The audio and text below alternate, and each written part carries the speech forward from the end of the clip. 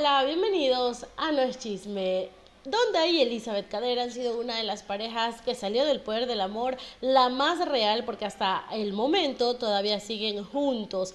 Pero ¿cuál ha sido el secreto de esta felicidad? Y es que Elizabeth considera que es el amor de su vida eh, Dondai y por supuesto ella también es el amor de la vida de Dondai. Así que ella no solamente ha decidido tatuarse, sino que también tienen secretitos que hacen que esta relación funcione al 100. Si nos estás viendo por la plataforma de YouTube, no olvides que aquí abajito te puedes suscribir, compartir y regalarnos un super like en este video. También si estás viéndonos por Facebook, entonces síguenos en nuestra página oficial en Instagram y en TikTok estamos subiendo contenido todos los días para que estés informado inmediatamente de lo que pasa en la farándula nacional e internacional. Así que no te lo puedes perder. Hoy vamos a ver un reportaje que le han hecho los hackers de la farándula a Elizabeth, en donde ella asegura que tiene muchos secretos para poder llevar esta relación a cabo, porque recuerden, Dondai ha sido siempre un eh, picaflor, por no decir otra palabrita fuerte. Entonces, ella está segurísima de que es la mujer que llegó a cambiarle esa ideología de vida, de amor, eh, de llevar la vida sentimental de Dondai. Se ha tatuado el nombre del artista ecuatoriano, ahí ustedes lo pueden ver, y dice que no se arrepiente. Muchas personas pues no están de acuerdo y se lo hacen saber en sus redes sociales, pero ella tiene un secretito para poder llevar en santa paz esta relación. Ya vamos a estar comentando de si está bien o está mal eh, lo que va a decirnos a continuación. Escuchemos. Cacho, que aquí, que allá. Yo no me lo hizo con el pensamiento de que algo malo vaya a pasar o que yo lo voy a dejar. Al contrario, creo que eso es una forma de demostrar que a todo hombre le llega la mujer indicada. Oye, Eli, ¿y qué hay de cierto de que tú has bloqueado to- a todas las ex de Dondai? Yo nunca he dicho que no soy celosa, yo sí soy celosa, no soy tóxica, soy celosa. Pero, pero, sí, o sea, es que en realidad ambos lo hacemos. Él lo ha hecho en mi Instagram y yo lo he hecho en el de él, porque él también es así. Él también ha bloqueado a todos mis ex. O sea, ¿Pero ya alguna? Ese sería el secretito de Dondai y de Elizabeth para poder llevar una relación basada en confianza, basada, eh, no sé, pues en, en amor, el revisarse las redes sociales, el tener acceso cada uno a sus cosas que deberían pues ser privadas para mí eh, opinión, el teléfono es algo súper privado porque ahí tienes conversaciones con tus amigas, te cuentas secretos, no solamente porque tú tengas algo que decirle a alguien malo de ti, sino porque tus amigas te pueden confiar a ti un secreto que no quiere que ni tu pareja lo sepas. Entonces, si ella es un libro abierto, pues con Don y yo creo que eso le está funcionando, está bien. Y bueno, en cuanto a los celos, pues yo pienso que depende del nivel de celos que tengas para con tu pareja, eh, mientras no perjudique la relación, como que está Hay que otra ex a quejarse, sí, me han bloqueado de tus redes sociales Dondai. ex, ex como tal no, ex como tal no. Tal vez haga- sí han habido personas de que, ay, ¿por qué me bloqueas? Yo ni respondo porque como él mismo dice, él puede hacer con mis redes sociales y con mi vida lo que quiera porque yo soy, es la que él la ha elegido. Yo soy aquí porque él me eligió.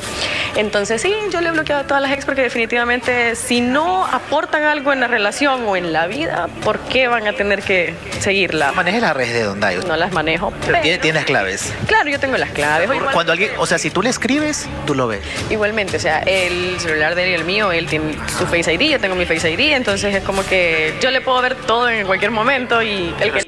Ah, ya, pero es como algo mutuo, ¿no? No es como solamente yo puedo revisar tu teléfono, solamente yo puedo borrarte a tus ex, sino que también donde ahí lo hace con ella y me parece bien. De pronto, eh, bueno, en lo personal para mí, este, no digo que nunca me ha pasado, pero es como una etapa, esa etapa ya pasó, eso es como entre los 20, antes de los 24 está súper bien, pero ya pues, yo creo que todas las, todas las personas, todas las parejas pasan por etapas y maduran.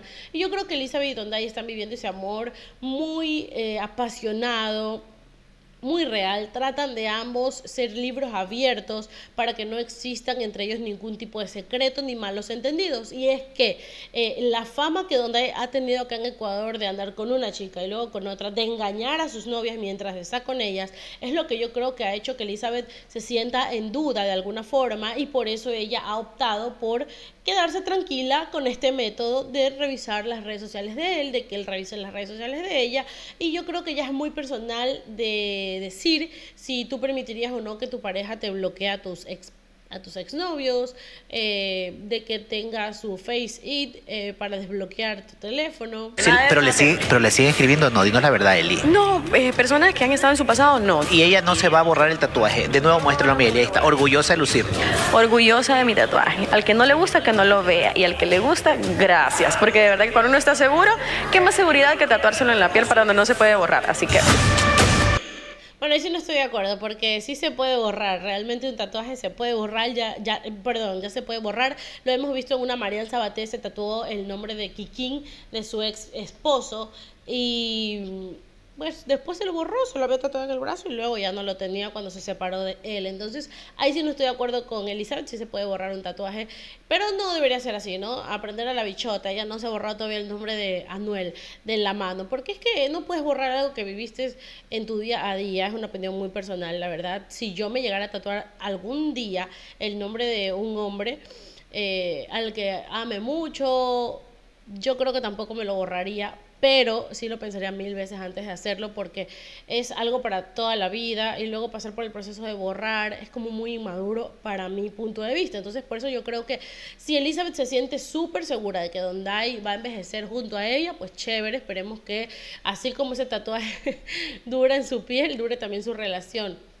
Ustedes... Eh, ya pueden comentar aquí abajito en los comentarios qué les parece el tema del tatuaje. ¿Ustedes se harían el tatuaje con el nombre de su pareja o, o simplemente de pronto un tatuaje cualquiera menos el nombre? O sea, pronto puede ser eh, dos, dos muñequitos iguales, o sea, eso no pasa nada, ¿no? El tema de revisar las redes sociales sí me parece bastante fuerte. Deberías, debes tener ya bastante... Eh, confianza con tu pareja para poder hacer este tipo de cosas.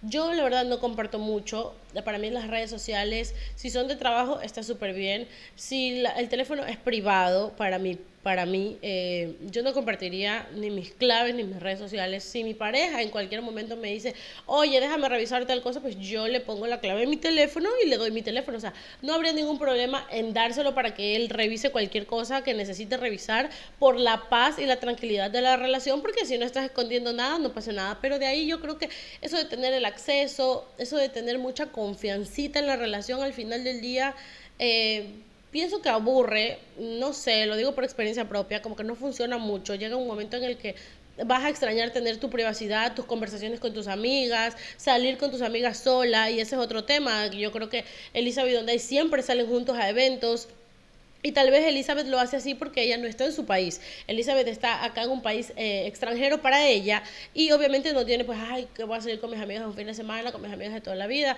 Tiene amigas nuevas que conoció en el poder del amor, gente que recién está conociendo ahora y como que no te vas a sentir en la misma confianza que salir con gente que conoces desde toda la vida. Entonces yo creo que por ese lado eh, ella lo estás, yo creo que lo hace por eso, ¿no? Porque ella no, no es que tiene mucha vida privada acá, pero en el tema de Dondai me parece que está bien si él lo ha hecho así, porque también la fama que ha tenido eh, Diego Álvarez es bastante mm, dudosa, porque él mismo lo ha reconocido en varias entrevistas diciendo que sí le ha sido infiel, de hecho a la misma Samantha Gray le fue infiel, eh, siempre ha tenido como que vaciles con una, con otra, con las extras de los programas, de las telenovelas en las que trabajó, entonces ya cuando llega una persona que te ayuda a pensar bien en tu futuro, llegas a una, más bien no, yo no creo que sea la persona, yo creo que tú llegas ya a un punto, a una edad en la que tú ya te replanteas cómo vas a vivir tu vida y yo creo que justo Elizabeth llegó en esa edad en donde ya, donde se cansó de la vida bohemia, de estar con una chica, con otra chica y pues ella también ha aportado eh, en, su en la calidad de mujer que es ella para que donde se sienta seguro de que está con la mujer correcta. A mí me parece espectacular si ellos han decidido revisarse las redes sociales. Eso ya es muy privado, como les digo, depende de cada persona. En mi opinión personal no, no, no lo haría, pero sí dejaría que revisen cuando, cuando necesiten. Yo quiero saber ustedes ¿Ustedes dejarían que su pareja tenga su clave del teléfono y que agarre el teléfono cuando quiera? ¿O prefieren mantener un poco de privacidad tanto él como ella? Porque a mí sí me parece que las parejas también deben tener reciprocidad. O sea, si yo, por ejemplo, a mí no me gusta que me me cojan el teléfono sin mi permiso, tampoco voy a hacerle eso, pues no. Entonces como que hay que poner una balanza también.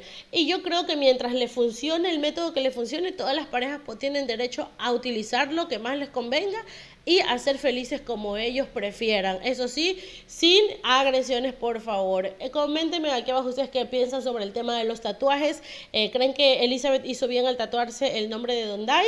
¿Será que Dondai también lo hace muy pronto? Y también eh, si ustedes consideran que Elizabeth es una mujer celosa en el nivel admitido o se está pasando de la raya al tener acceso a las cosas que deberían ser privadas de Dondai. Coméntenmelo aquí abajito, voy a estar respondiendo sus comentarios y por supuesto no te olvides que si nos ves a través de Facebook, síguenos en nuestra página oficial y si estás aquí en YouTube conmigo, suscríbete aquí abajito, por aquí les voy a dejar algunos videitos que te podrían interesar para que te mantengas informado de lo que pasa en la farándula nacional e internacional. Nos vemos en un próximo episodio.